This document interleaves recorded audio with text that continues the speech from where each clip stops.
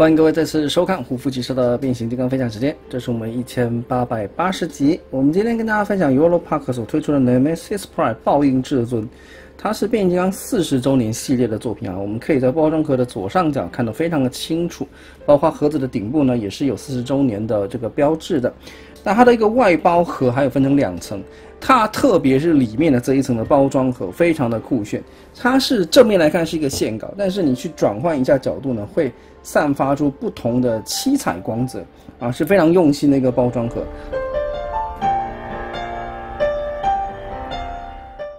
那我们先来看一下它简单的一些配件。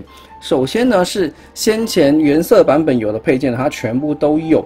这一把可以呃由 Megatron 所变形的这一把小枪啊，一样涂装也是跟之前的完全一样，非常非常的精美。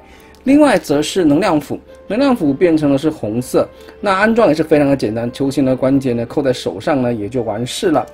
大枪的部分呢跟原色版本的话呢几乎是完全一样，应该说是完全一样了啊。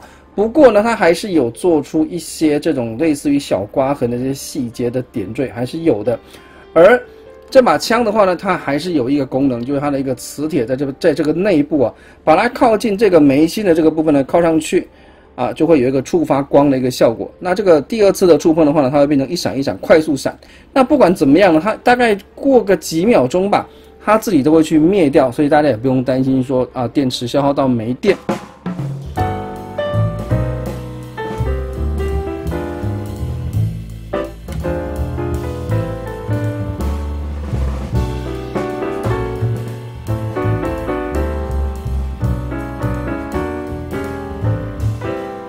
在一些简单的组装之后的话呢，我们可以来看一下这个玩具的全部的这个细节了。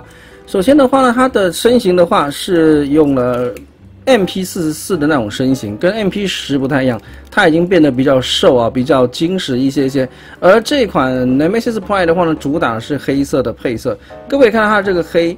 啊，反光的反光的程度呢是非常非常明显的，甚至有时候我的手啊摸上去都会有一个指纹留在上面啊。这个把完之后还要把它擦干净的感觉啊，非常非常尊贵的一个感觉。钢琴黑，非常乌黑亮丽，红色的这个胸口，它这一带的话呢，这些小的这种刮痕啊，几乎全身的每个出现的位置都是非常合理的。烟囱的话呢，你可以看到里头有一个污渍的一个效果，包括腹部的这个进气口。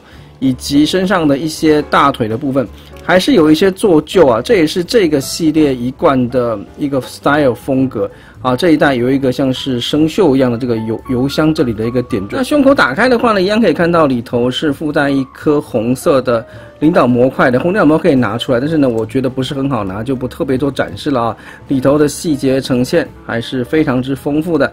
那盖起来的时候呢，是以我的习惯嘛，是稍微的是应该是。呃，这一侧先盖，再盖这一侧，可能会比较顺手一些。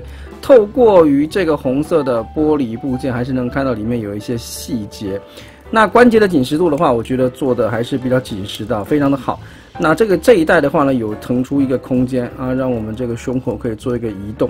裙甲的话呢，这里是一个球形关节，把玩的时候呢，还是要留意一下，不要不要玩的太嗨，它还是有可能会去喷溅的啊。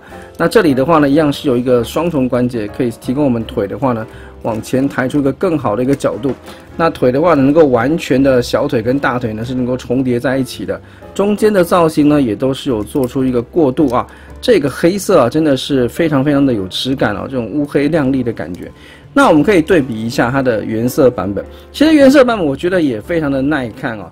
特别是它也是这种旧化的一个效果，涂上去之后，其实有一种非常强烈的金属感。而它的金属部件呢，主要集中在它的一个大腿的部分，啊，是一个冰冷的一个一个手感，把玩起来是非常非常的有有感觉的。